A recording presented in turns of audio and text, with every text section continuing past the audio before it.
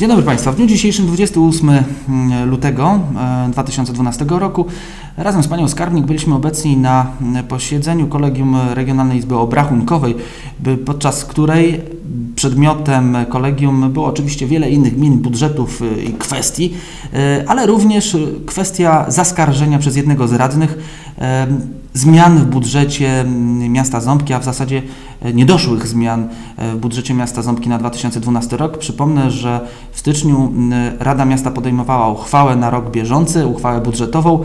Jeden z radnych złożył ustny wniosek, ponawiając swoje wcześniejsze, mm, wcześniejsze postulaty, by doprowadzić do zmian, to znaczy zmniejszyć kwestię odszkodowań i przeznaczyć te środki na inne wydatki inwestycyjne. Nie, Ponieważ przewodniczący nie przychylił się do, do takiego wniosku, nie podjął w ogóle tej uchwały, by pod, do, tego wniosku pod głosowanie, e, radny zaskarżył to do wojewody. Wojewoda przesłał do Regionalnej Izby Obrachunkowej e, skład orzekający w liczbie 28 osób. E, tempie ekspresowym e, podjął uchwałę, odrzuca, od, uchwałę odrzucającą tak naprawdę tą skargę. Zatem budżet miasta jest, e, jest jak niezagrożony.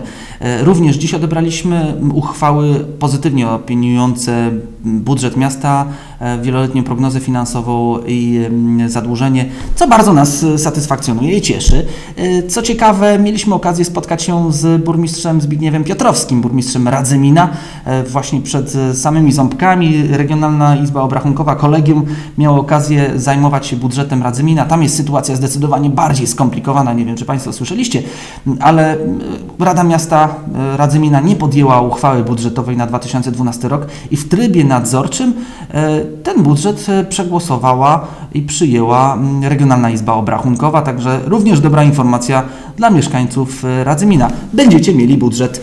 E, My Ząbki mamy też już budżet.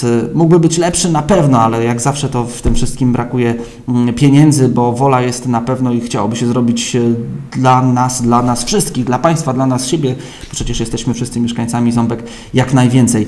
Jeżeli będą się pojawiały jakieś wolne środki e, możliwe do zagospodarowania, oczywiście będziemy je przeznaczali na nowe inwestycje, te, które, które są oczekiwane przez nas wszystkich. Pozdrawiam, życzę miłego dnia.